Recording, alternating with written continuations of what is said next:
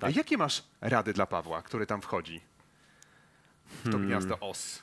Wydaje mi się, że teraz wchodzisz w bardzo trudnym momencie, bo tam po prostu teraz się e, stał taki trochę hardcore, jak te e, głowy się pogoliły, wszyscy się stali jacyś tacy bardziej, nie wiem, e, groźni, dominujący, e, jakieś tam widziałem dzisiaj nazistowskie teksty e, homofobiczne, więc myślę, że takim osobom jak tobie czy Justyna tam może być teraz ciężko.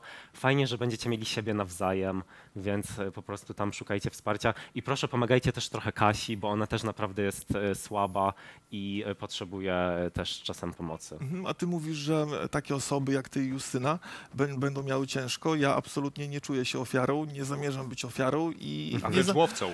nie bez przesady, ale też nie zamierzam e, no, jakby w żaden sposób ulegać ich presji i tak dalej. Nie widzę w weganizmie żadnego powodu do wstydu, a wręcz przeciwnie.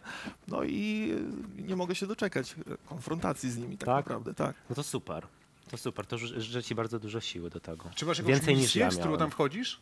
Nie, misję mam taką, żeby wspierać Justynę, żeby, żeby dobrze się bawić, korzystać z tego czasu i żeby po prostu jak najwięcej dobrych chwil skolekcjonować. Ale myślisz, że masz taką siłę, żeby właśnie, tak jak mówisz, nie stać się ofiarą, żeby dotrzeć do tej grupy tak zwanych patusów?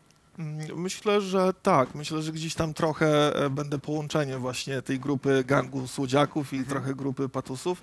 Myślę, że jestem w stanie z nimi s- znaleźć wspólny język. Jeśli chodzi o Igora na przykład, to mamy wspólną pasję, jeśli chodzi o boks. On Mhm. to robi bardziej praktycznie, ja teoretycznie. No i myślę, że jakoś jestem w stanie znaleźć z nimi nić porozumienia, mimo wszystko.